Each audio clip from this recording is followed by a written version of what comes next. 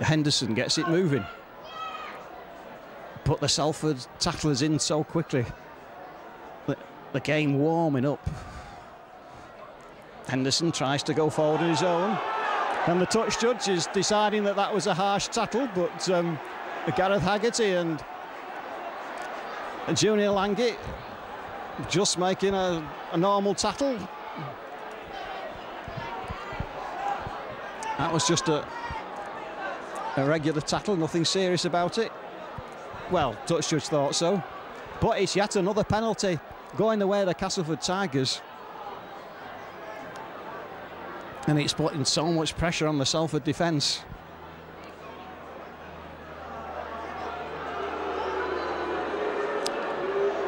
High tackle.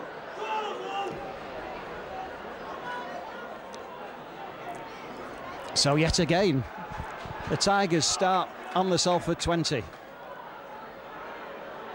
Brad Davis onto Danny Ward.